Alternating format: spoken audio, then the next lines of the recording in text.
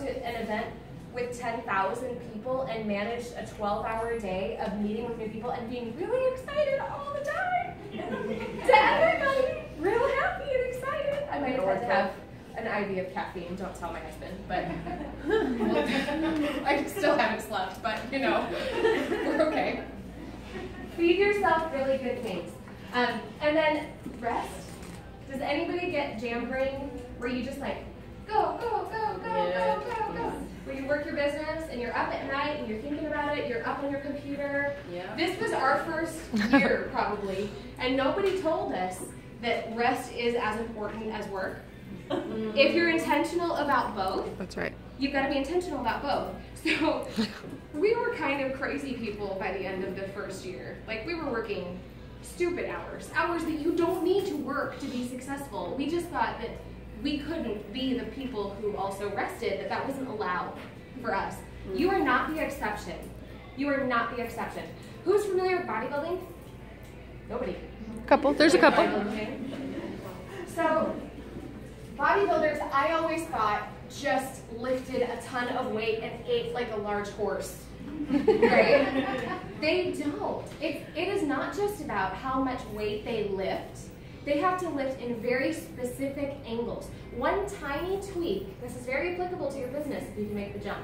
One tiny tweak in how they lift a certain weight changes completely the muscle that is affected by that process. Mm-hmm. Sometimes, if you're running your parties and it's not working, a tiny little tweak in how you're doing what you're mm-hmm. doing can make all the difference in the world. For a bodybuilder, a tiny little tweak makes all the difference. So it's what they lift and how they lift it, and then it's not only what they eat, but when they eat it. Mm-hmm. Both of those are important. It's very, very important to them. They can't allow Mike and Ike's, who had Mike and Ike's on the back, I saw them. They can't allow Mike and Ike's into their body because it derails them from where they're going. Don't allow things into you, negative thought patterns, to derail yourself from where you're going. They also, and this blew my mind, my husband decided he wanted to be a bodybuilder, which was just fine with me. That was fine. I was totally okay with that. He's gorgeous. Um, you can find him on Facebook. He's very pretty. But he decided he wanted to be a bodybuilder. And the biggest thing that I found out, these guys sleep like 14 hours a day. What? It's like the next best thing to being a toddler. Please, can I just nap and turkey food? like, run to the gym and then go eat a bunch and then go to sleep. Awesome. Sign me up. That sounds great. Your business is the same way though. You have to rest. And if you're intentional about your time, you can be intentional about your rest. I see it a mm-hmm. lot with girls who say, I want to be a team manager. I would love to know who in here has it as a goal. Team manager? Woo. Anything higher than team manager? Executive? Woo. High ranks of executive? Fantastic. If you don't have that as your goal, that is okay. This is still applicable to you. We've coached about 85 team managers and above under me and our team growing into leadership. And one of the biggest things that I see is they think that I can't rest. I can't stop doing Jamberry for 24 hours. I mm-hmm. can't put my business down because then it will stop. And the opposite is true. The opposite is true if you are intentional about your time. If you're not intentional about how you're working your business, if you put it down and you don't pick it up for two weeks, baby, you do not have a business anymore. Yeah. It's gone. If you take a Christmas break that lasts a month, you are going to be spending your time until April to get back where you were at the beginning of December. Very true. I promise you, and I've seen it happen, and I've had very sweet girls tell me, no, no, no, mine will be fine. That may have happened to other people, but not to me. My business will be fine. No, if you set it down for all of December, you are going to be catching up until April to get back to where you were. It's not difficult if you're intentional about your time to touch your business every day. And if you're touching your business every day on purpose, with a specific goal in mind, doing IPAs, oh my gosh! Mm-hmm. Oh my gosh, you will get where you want to go. And you'll get there faster than you think that you will. So intention is your key. Where am I on time? How are we doing? Good. You're great. I don't want to talk all night, You're but good. you know, You're good. close. Okay, Yeah, you're good. all right. Um, the other thing is to get rid of fear. Who has been afraid of something related to Jamberry? Yeah. Who would admit, and be honest now, that something that you were afraid of connected to Jamberry held you back from doing something that would benefit your business? I had. I had a couple girls who were on what I call my chicken list, which are like the most amazing people. If you could pick the, your favorite people to work with who have all of the business sense in the world, who know how to manage their time, who have that it thing. You just know you have those people. I had like six of them. And I kept going, I'll talk to them next week. I'm really kind of nervous, and maybe they'll think that I'm just this stay-at-home mom, and maybe they're not going to take me seriously, and, and maybe they won't sign up with me. And guess what? They signed up with other people because mm-hmm. they thought Jamberry was amazing, and I talked to them. If you've got a chicken list, talk to the people on your chicken list. They know a good business opportunity when they see it, and for a lot of people, they're waiting for somebody to show it to them. Mm-hmm. That's right. Do not let fear hold you back. Fear is fake. And fear is the root of so many things that hold you back. Okay, a lot of times, fear doesn't look like fear. Sometimes fear looks like apathy, which is, oh, it is what it is. It'll be what it'll be. We'll see. We'll see what Jamberry does for me. I don't know. Usually, the root of that is something that you're a little bit afraid of. That maybe if I give this everything that I've got and I don't accomplish what I want to accomplish, maybe that means that I don't have what it takes. Maybe that means that I'm not good enough, that I don't have what they have. And nothing could be further from the truth. That is a fear that is attacking your life that you need to silence and tell it to sit down. That is not true. If you give this everything that you have, you will get where you want to go. You just may have to give it everything that you have for a little bit longer than somebody else that you're watching. You can't compare yourself with other people. I, com- I have compared myself with ladies who've been here twice as long as I have and have really ran myself into the ground going, oh my gosh, her follow up system. Oh my gosh, her customer connection. Oh my gosh, how she talks to people. She has something I don't have. I'm never going to get there. I should just, I mean, like, this isn't even worth it for me to keep going. I have talked myself onto a ledge and nearly jumped off it a bunch of times over something that's just in my mind. Just fake. It's just fake. So fear can look like apathy. Fear can also look like um, avoidance, where you kind of have something that you know you're supposed to do right here, and you, you kind of circle it. I should call that hostess. I should call her. I should call her tomorrow. I should do I should do that thing. Another time, I'm gonna pretend like that's not here, actually. Maybe I can go do something else. Avoidance is fear. It's fear, and you gotta confront it. And you gotta make a different decision, and you gotta call that hostess. That is how you deal with fears. You take action against it. Um, it also looks like procrastination and putting things off for a really long time. I did an event right when I first started at our chiropractor's office, and it was a great event.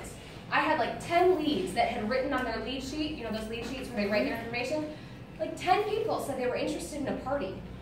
And I'd only done a couple parties. And I was real scared that they would want me to answer questions that I didn't know the answer to, or that they would want a style of party that I'd never done, because I'd only done like one style up until that point, and I'd never called them. Hmm. 10 people, y'all. I'm showing you like my, my slip here.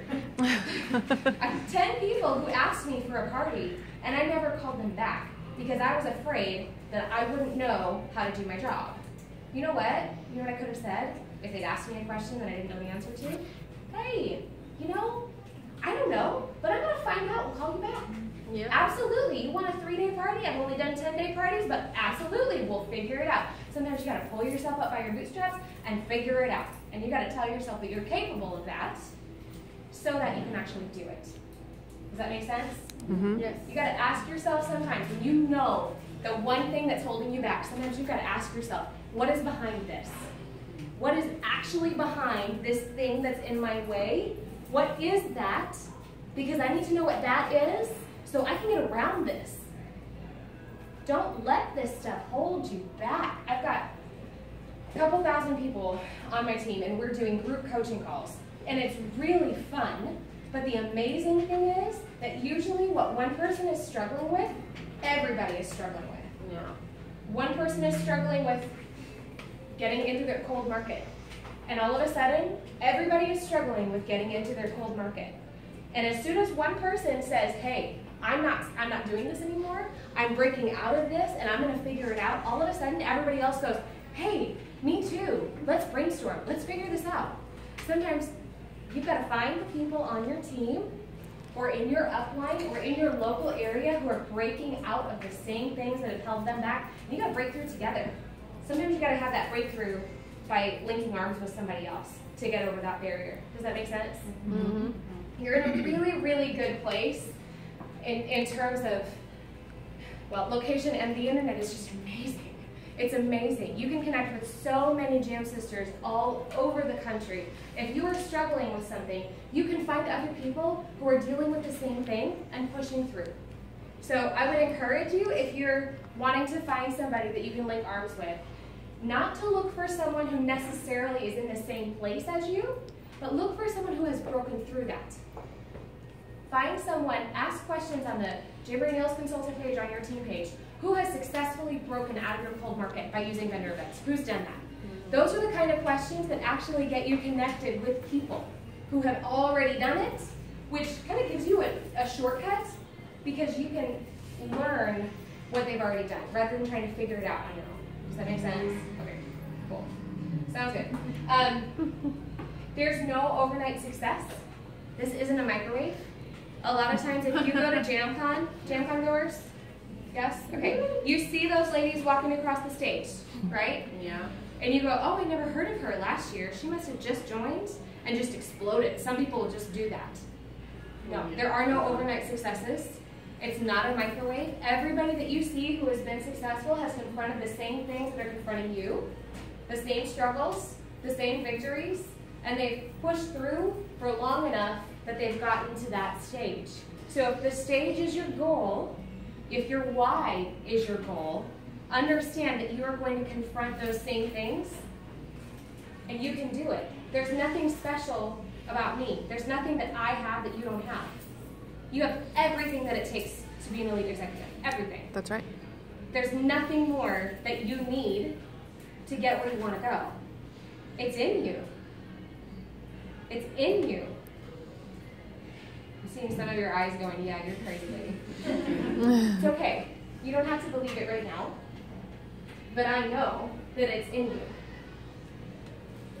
One of the things that I love so much about this company is the diversity of the ladies who've accomplished that top level. You've got everything from our gorgeous friend Rachel, who is tatted up. She's a roller derby rock star. She's ridiculous. I love her. All the way from there to like your your little Baptist girls from the south with our little curl hair and our boots. Uh, you've got you have a really really wide variety of styles and ages and backgrounds and family life and all of these different things. There is no mold. There is no mold that you have to fit into. You are your mold. You have what it takes. Jamberry is a perfect fit for you. Does that make sense? Mm-hmm. Yes. Okay. Just really want to encourage you guys that it's worth it. Mm-hmm. It really is worth it. Fighting for your why, and I don't care. There, there's not a gradient scale of importance here. If your why is getting you out of the house because you're about to lose your mind, that is as important as it was for me to bring my husband home from his lawn care position. There's not a gradient scale of more important or less important. To you, your why is the most important, and your why is worth fighting for. It is mm-hmm. worth fighting for. And when you get that accomplished and you see that thing happen, close your eyes for just one second. Let's do this. Close your eyes. And I want you to imagine for one second that whatever your why is, you have accomplished it. You've done it. It's done. You did it. It's over. Whether that's the financial debt that you're out of, or the home that you just purchased, Maybe you were a stay at home mom now and you're not having to go back to work. Let yourself feel what that's like. Imagine, imagine for just a second. Okay, open your eyes. It feels like that. It really does. It's every bit as good, every bit as good as you let yourself imagine that it will be. So fight for it. Fight for yourself. Fight for your family. Fight for your why. It is worth it. Okay? Thanks so much for having us, guys. It is a joy to be with you.